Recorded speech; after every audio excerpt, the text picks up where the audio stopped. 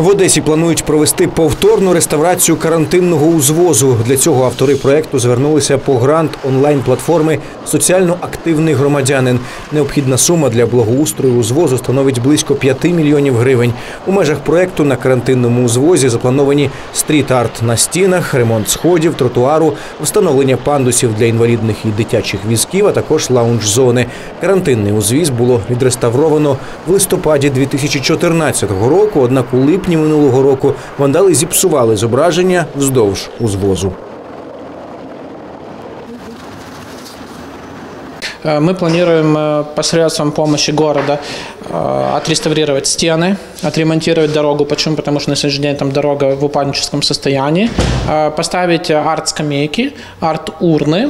Э, В обязательном порядке поставить пандусы на пешеходной э, зоне. И в обязательном порядке мы хотим установить фонари с видеонаблюдением.